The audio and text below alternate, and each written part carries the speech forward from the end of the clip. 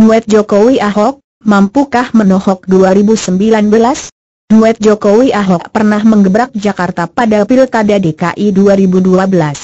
Kerja nyata mereka segera mengubah wajah ibu kota Republik Indonesia, Jakarta.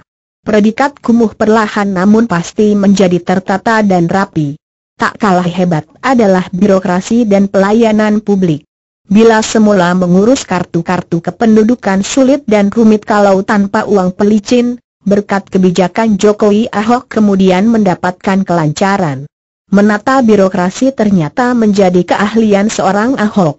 Para aparatur sipil negara yang tak becus kerja pun banyak yang dipecat birokrasi yang bersih dan melayani benar-benar digenjot Basuki.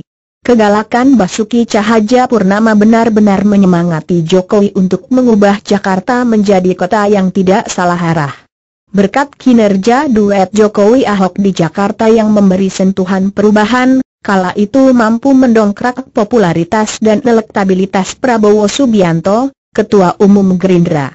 Sebagaimana diketahui, Gerindra adalah salah satu partai pengusung Jokowi Ahok, bersama Partai Demokrasi Indonesia Perjuangan, PDIP. Sayang, impian Prabowo menjadi risatu pada 2014 kandas karena Jokowi ikut ngegas pada perhelatan pilihan presiden tahun itu.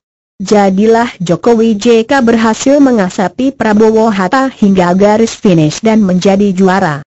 Hasil yang membuat Prabowo Hatta harus rela menunda impiannya karena kalah uliran gas dengan Jokowi JK. Ketika Jokowi jadi presiden, praktis Basuki Cahaja Purnama menjadi gubernur DKI.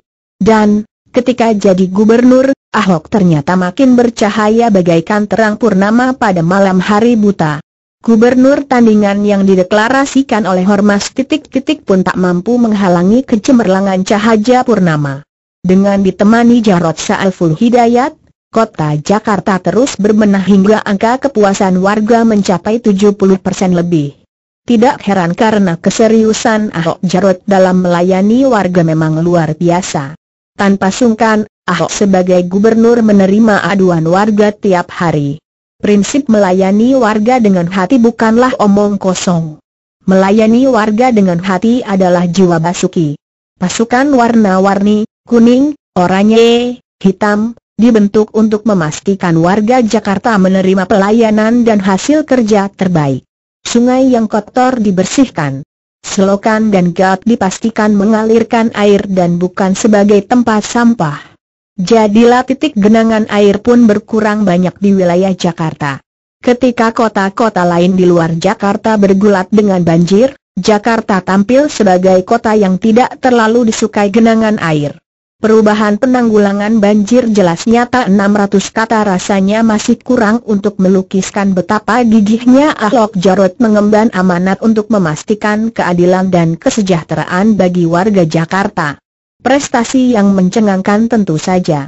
Sayang, angka kepuasan warga 70% malah difentung pakai kapak naga geni 212 yang berhasil memenangkan Anies Sandi. Kemenangan yang membuat Sandiaga Uno bersemangat mengubah Kalijodo menjadi seperti Las Vegas. Kita tahu, Las Vegas jelas bukan kota islami tetapi dirujuk oleh wakil gubernur terpilih yang begitu islami ini. Walau Ahok Jarot kalah bukan berarti kehilangan masa depan cerah. Keceriaan dan hati berbunga malah menghinggapi balai kota Jakarta. Tanpa terduga-duga, halaman balai kota dan sekitarnya berubah menjadi samudra raya bunga tanda cinta dan ucapan penuh simpati pada kinerja Ahok Jarot. Kemenangan manis Sanias pun menjadi kehilangan gairah. Tak kalah mengharukan adalah ketika Ahok diputus bersalah atas tuduhan penodaan agama. Lilin Namaskara pun menyala di mana-mana sebagai tanda bela rasa kepada Cahaja Purnama yang dipenjara. Api kebangkitan nasional seolah dipantik lagi. Mayoritas hening pun disadarkan. Tidak boleh kalau hanya berdiam diri. Tak rela bila Ibu Pertiwi yang memangku Pancasila dihina-hina oleh ormas radikal bebas tanpa antioksidan. Semua aksi simpatik itu ternyata sampai di telinga Ahok. Dari penjara pun dia menuliskan keyakinan imannya.